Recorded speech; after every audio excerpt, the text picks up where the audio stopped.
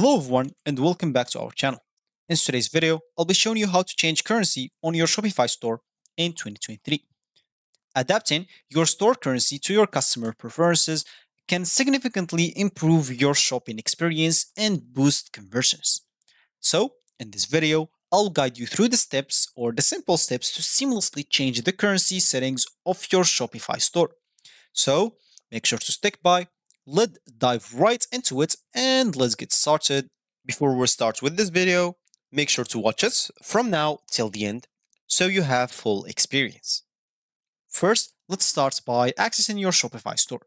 So open whatever browser you're going to use to follow this tutorial steps with. Here in my case, I'm actually going to use the Brave browser, and of course in your case, you can use any other browser that you could possibly have.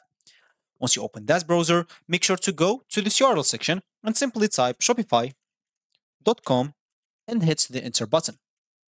So sorry, it should be here just shopify.com and hit the enter button. That should take you to the home screen or main screen of shopify.com. If you have an account, you can always go and click at login to log in into your account.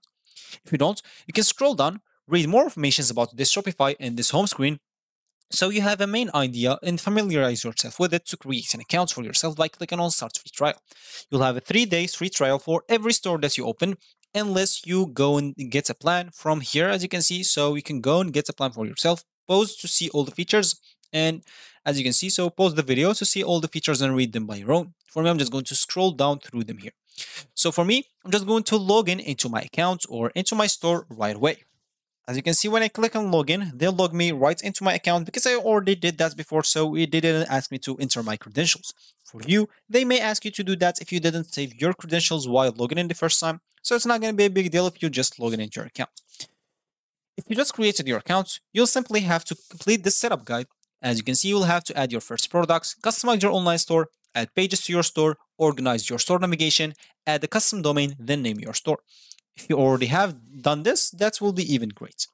So now, once you access your Shopify store or your Shopify account, you will have to go to settings on this left uh, or bottom left panel. If you click on it, once you do so, of course, or as we said, we would like to change the currency on your Shopify store. So now, as you can see, if we go to the store details, or we'll basically find ourselves on it. So as you can see, we have here profile, billing information, and here we have the store currency. So the currency of your products are sold in. For your payout currency, you can go to the payment settings. So from here, you'll be able to change the store currency depending on whatever suits you. At the moment, I have MED as the store currency, but of course, I can change it to USD, to Euros, GBP, uh, Canadian dollars, whatever I want. So from here, change it to whatever you want. As example, just choose USD dollars.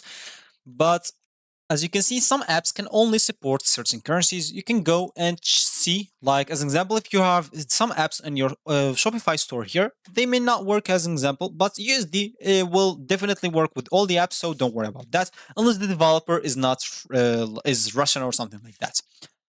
So as an example here, if we go to app, as you can see, so before even downloading any app, as an example, just even close this, we don't need this. So let's just even discard these changes. Go to apps here as an example and apps and sales channel, Shopify app store. And let's close this at the moment. So here before downloading any app as an example, let's just go to this one. Make sure that they are meeting with the USD. Of course, you will find that on the features so or even in the description. So make sure that you read them all and read everything about any app before downloading it to see if it's compatible with your USD. So, or whatever currency you're going to change into. So once you change your currency, as an example, as we said, like USD, you can simply even go from here to change the formatting. So as you can see, uh, current formatting, change how currencies are displayed on your store. So amount, amount no decimals will be replaced with the price of your products. So as you can see, HTML with currency, HTML without currency, email with currency, and email without currency. You can do that if you want to. For me, I'm just going to list this as it is, as the currency it is. And of course, other than that, you can even change the currency of your products are sold in. So you can do that for the payout currency. You can go to the payment settings. If you go to the payment settings, as you can see, you can uh, add some payments providers. So as you can see, providers that enable you to accept So sorry, I, as I said, providers that enable you to accept payments methods at a rate set by third party. An additional fee will apply to new orders once you select a plan. So just go and select a plan for yourself already. And of course, as you can see, supported payments method, we have here PayPal. You can even go and add additional uh, payments methods so let's simply click on that. And as you can see, you can search payments method by uh, by payments method. As you can see, we have Visa, MasterCard, American Express, and a lot of other stuff that you can check from here. Or you can search by provider, depending on the provider that you want. So we have the 2Checkout, Convert Plus, Airwallex, Coinbase Commerce, credits or debits card. So whatever you want here. So now let's just go back and you can even go and add like some manual uh, payments methods. So payments that are made outside of your online store. When a customer selects a manual payments method such as cash on delivery, you will need to approve their order before it can be fulfilled.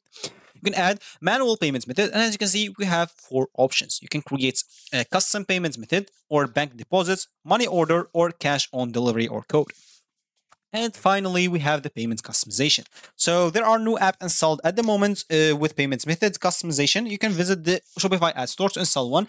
So as an example, if you have your supported payments method that you want to add to your store here, that will be even great uh, to simply go and activate it and add it to your Shopify store. But you, if you want to add like a payments provider that is not available here in the settings already, uh, if you want to choose it from here, as an example, if you didn't find it, you can simply go to the Shopify App Store. And from here, as an example, I'm just going to see for uh, look for Payoneer as an example. Go and look for that.